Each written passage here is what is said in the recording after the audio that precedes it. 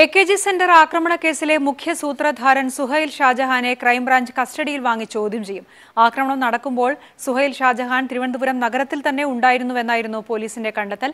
ആക്രമണത്തിന് മറ്റാരുടെയെങ്കിലും പ്രേരണയുണ്ടോ എന്നതടക്കം ക്രൈംബ്രാഞ്ച് അന്വേഷിക്കും. കെ പി സി സി പ്രസിഡന്റിന്റെ വിശ്വസ്തനായിരുന്ന സുഹൈൽ ഷാജഹാൻ പിടിയിലായിട്ടും കോൺഗ്രസ് ഇതുവരെ പ്രതികരിച്ചിട്ടില്ല. കെ പി സി സി ഓഫീസും വയനാട്ടിലെ രാഹുൽ ഗാന്ധിയുടെ ഓഫീസും ഡിവൈഎഫ്ഐ പ്രവർത്തകർ ആക്രമിച്ചതിൽ പ്രതിഷേധിച്ചാണ് എ കെ സെന്റർ ആക്രമിച്ചതെന്നാണ് സുഹേലിന്റെയും ബോംബെറിഞ്ഞ ബി ജിജിത്തിന്റെയും മൊഴി.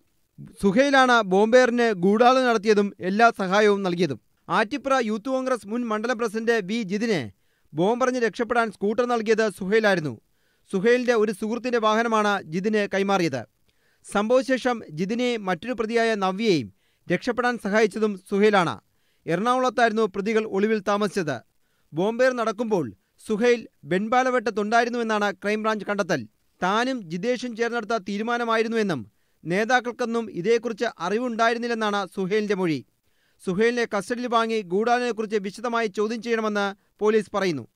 കേസിൽ പ്രതി ചേർക്കും മുമ്പേ സുഹൈൽ ദുബൈയിലേക്ക് കടന്നിരുന്നു. പിന്നീട് ഭാര്യയ്ക്കൊപ്പം ഇംഗ്ലണ്ടിലേക്ക് പോയി. തുടർന്ന് കാഠ്മണ്ഡു വഴിയാണ് ദില്ലിയിലെത്തിയത്. അവിടെ നിന്നും വിമാനത്തിലാണ് കൊച്ചിയിലേക്ക് പോയത്. കൊച്ചിയിലും കണ്ണൂരുമാണ് ഒളിവിൽ താമസിച്ചത്.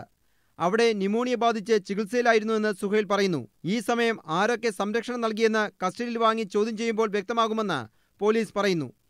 സുഹൈലിനെതിരെ പോലീസ് ലുക്കൌട്ട് നോട്ടീസ് പുറപ്പെടുവിച്ചിരുന്നു. ദില്ലി വിമാനത്താവളം വഴി വീണ്ടും കാഠ്മണ്ഡുവിലേക്ക് പോകുന്നിടെയാണ് എമിഗ്രേഷൻ വിഭാഗം പിടികൂടുന്നതും ക്രൈംബ്രാഞ്ചിന് കൈമാറുന്നതും. മുഖ്യപ്രതി പിടിയിലായതോടെ വിചാരണ വേഗത്തിൽ പൂർത്തിയാക്കാനുള്ള നടപടിയിലേക്ക് കടക്കുമെന്ന് crime branch S P Madhusoodanan പറഞ്ഞു. യൂത്ത് കോൺഗ്രസ് മുൻ തിരുവനന്തപുരം ജില്ലാ സെക്രട്ടറിയാണ് Suhail Shajahan. K P C C president വലങ്കയ്യായിരുന്നു.